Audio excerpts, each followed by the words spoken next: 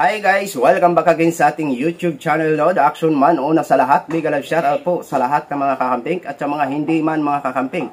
Kung interesado ka sa video ito, patapusin mo na hanggang dulo at huwag nyo nang kalimutan na i-like at i-share ang ating video para malaman naman ang iilan sa ating mga kababayan na nagtutulog-tulugan sa katotohanan. So may parto po tayo doon kay Bin Barubal, no? mga ka-action, mga kakamping. So kahapon, napanood nyo o kagabi ba yun naging upload ko, napanood nyo na yon no?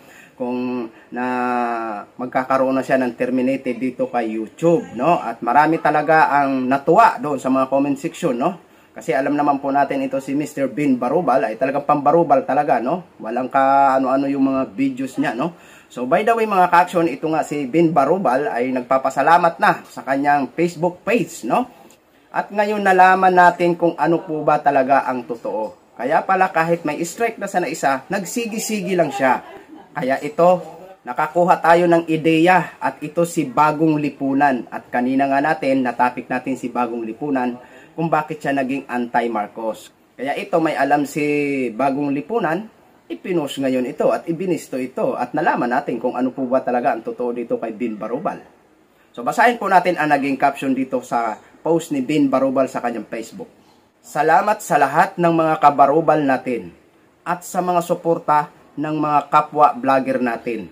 Don Kings, see you soon. Ah, bagong channel niya yata to mga kaksyon, mga kampeng. Oh, kasi Don Kings, see you soon. Aba, may Don Kings ang bilis ha. Ba, hindi na ngayon Bin Barubal ha, kundi Don na, Don. Ah, marami na sigurong kinita, Mr. Bin Barubal, kaya Don Kings na. Ikaw ba naman, paldo-paldo ba naman ang kinikita sa mga views ni Mr. Bin Barubal? Hindi ka ba naman maging Don, no? So ito mga kaksyon, ang post naman ni Bagong Lipunan. Ito yan, yan, yan. Kung nakikita nyo yan, yan ang post ni Bin Barubal sa violation niya kay YouTube. Ngayon, isinir ngayon ni Bagong Lipunan at ito ang naging caption sa post ni Bagong Lipunan. Patulong ka kay Tunying o kay Mamshi. Total, bayad ka naman. Di mo na kailangan ang YouTube. Lul. Oh. Di ba? Klarong-klaro. At ito si bagong lipunan, hindi naman to magsasabi na words na bayad kung hindi niya talaga alam. Alangan ba naman to na maano siya dyan, magpapaba siya dyan sa kanyang Facebook page? Kasi sa page ito ni Bagong Lipunan, nakita ko ang post na to.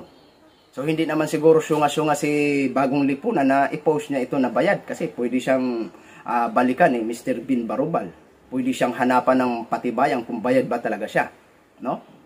Kaya pala Mr. Bin Barubal, kahit i-strike 1 ka na, strike 2 ka na, sige, sige, sige, sige lang. Ito pala yung totoo, no? Kung totoo nga ba ito. Pero hindi naman ito gagawa-gawa ng kwento si Bagong Lipunan kung hindi ito totoo, di ba? Kasi dati nga siyang Marcos vlogger, di ba?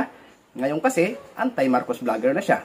Kaya ito, unti-unti talaga natin nalalaman kung ano ang totoo dito sa ating mga kaibigan ng mga vloggers na kabilya. So yun lang po mga ka-action, mga kakampeng. Thank you for watching. Have a good day.